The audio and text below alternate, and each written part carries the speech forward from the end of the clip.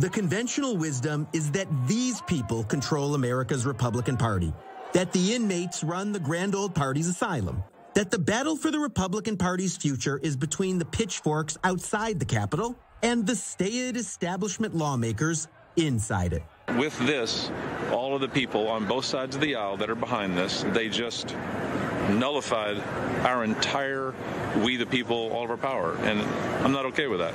There is, to be sure, a real battle for the future of the Republican Party between Donald Trump and Trumpism and the Republican establishment.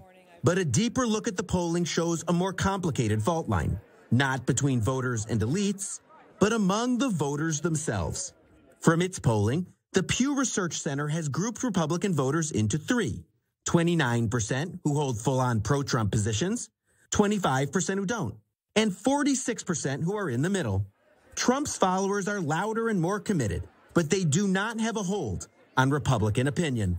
Conservative red suburbs have flipped for Joe Biden. It's not necessarily a repudiation of the Republican Party at large. I think it's more of a repudiation of President Trump and kind of Trump, you know, Trumpian republicanism, if you will. This all adds up to a Republican Party replay, a fight between two groups of voters, establishment and populist, much like the fight between the establishment and the Tea Party movement a decade ago. For all the heightened emotions of this moment, the longer term upshot may be no more and no less dramatic than that.